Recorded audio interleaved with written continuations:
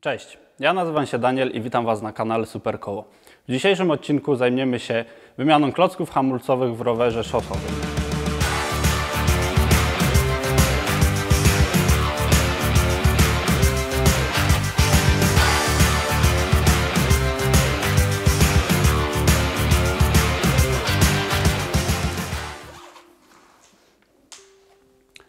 Do wymiany samych klocków warto mieć przygotowany imbus numer 4 oraz numer 5, żeby ewentualnie poprawić linkę.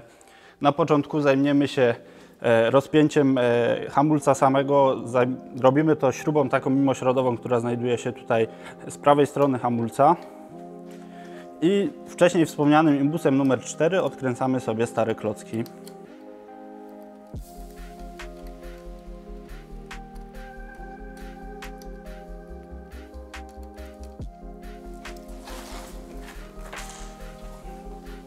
Z jednej, jak i z drugiej strony.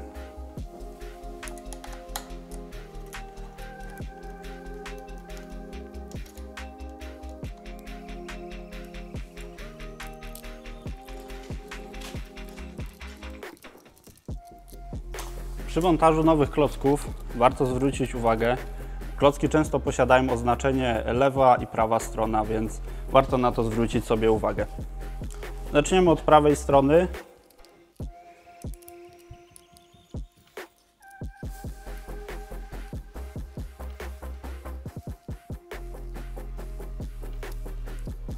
Pamiętamy o właściwym umieszczeniu podkładek, e, żeby podkładka sferyczna znajdowała się od strony klocka i ewentualna podkładka pod śrubę.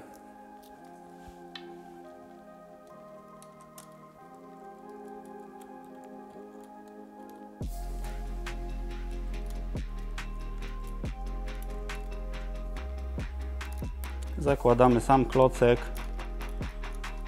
na razie wstępnie go tylko skręcając, ale nie dokręcając. Podobnie robimy z drugiej strony, również pamiętając o podkładkach oraz o kierunkowości samego klocka.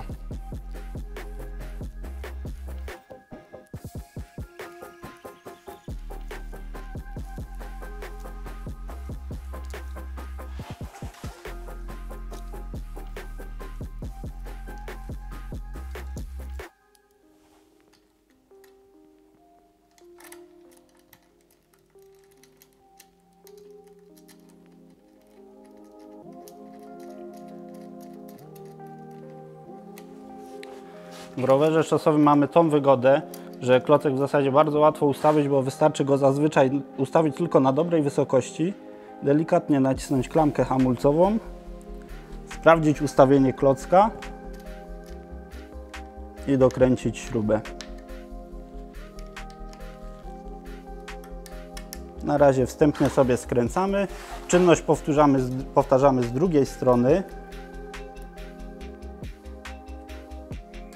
Również wstępnie sobie skręcamy klocek.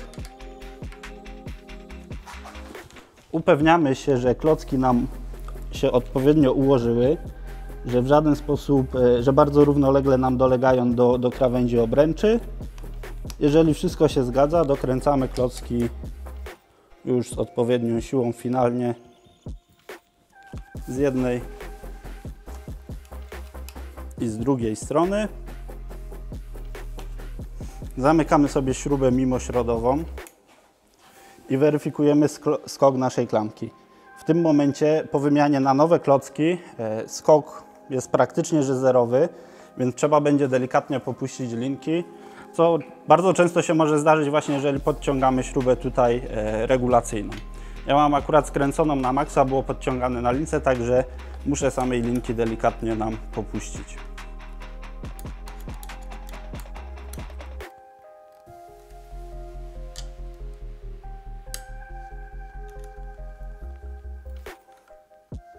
Dokręcamy śrubę, weryfikujemy skok, jest minimalnie za duży, także można delikatnie podciągnąć śrubą regulacyjną. Taki skok powinien być w porządku. Nie ustawiamy też na sztywno, że tak powiem zero-jedynkowo, e, tym bardziej w przednim kole, żeby uniknąć zablokowania takiego koła. Jak widać, e, wymiana samych klocków hamulcowych w rowerze szosowym jest bardzo łatwa. Także zachęcam do zrobienia tego samemu. Dziękuję za uwagę.